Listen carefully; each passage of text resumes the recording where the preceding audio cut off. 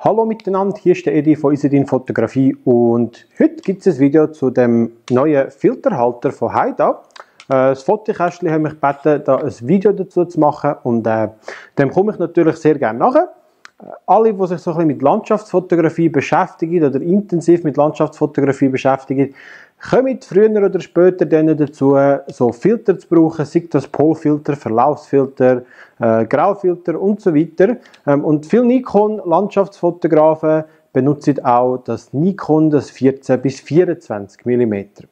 Und genau für das Objektiv gibt es jetzt eben einen neuen Filterhalter von Haida und ich werde euch mal ein paar Features davon zeigen, damit ihr euch so ein, ein Bild machen könnt. Äh, was mir als erstes aufgefallen ist, sind da, jetzt muss ich schon schauen, dass wir das richtig sehen, ich hoffe, man sieht es ein bisschen im Bild, sind da die kleinen Zändchen, äh, vier, vier Zähne rundherum, die sind dazu da, dass man den Filter richtig positionieren kann.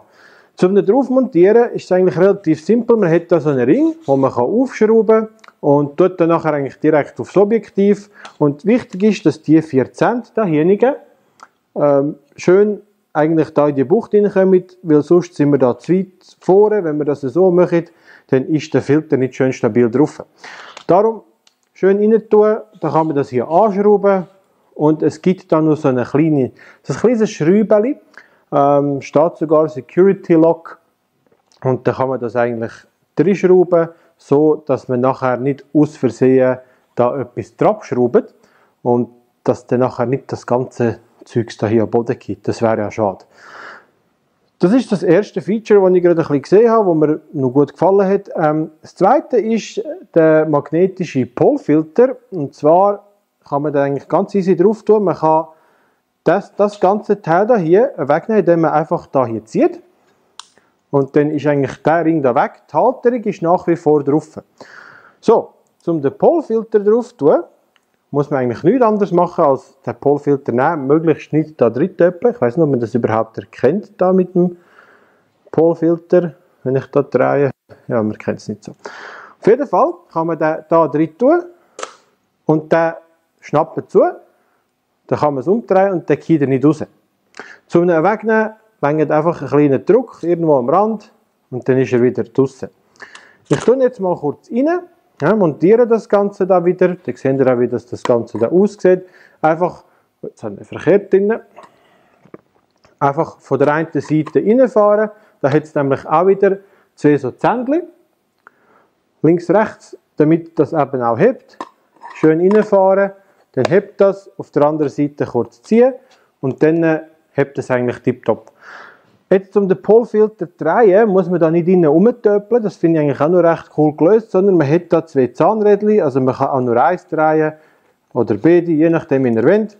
Und da kann man das bisschen, also den, den Polfilter nachher justieren, je nachdem, wie man ihn braucht, für Himmel oder fürs Wasser, zum Reflexionen wegnehmen und so weiter. Genau, das ist so die zweite Stufe. Man kann natürlich auch ohne das Teil fotografieren. Und dann braucht man vielleicht dann zum Beispiel noch einen Graufilter. Ich habe jetzt hier zum Beispiel einen 64er Graufilter, also 6 Blendenstufen dunkler machen. Und da jetzt zwei so Schlitzli, also man kann zwei verschiedene Filter rein tun oder übereinander tun. Und da kann man die einfach reingleiten und dann hebt das schon.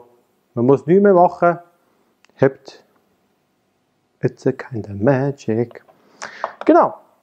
So, jetzt hat man da vielleicht den Graufilter drauf. Man tut ja da in der Regel als erstes drauf.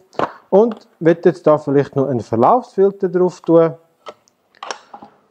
Und da kann man dann einfach in den zweiten Slot rein tun. Und da kann man dann aber auch justieren, wie man will. Ja. Genau. Das ist eigentlich die ganze Hexerie. Also ihr seht, ein äh, funktionelles, cooles Ding, ähm, einfach zu bedienen.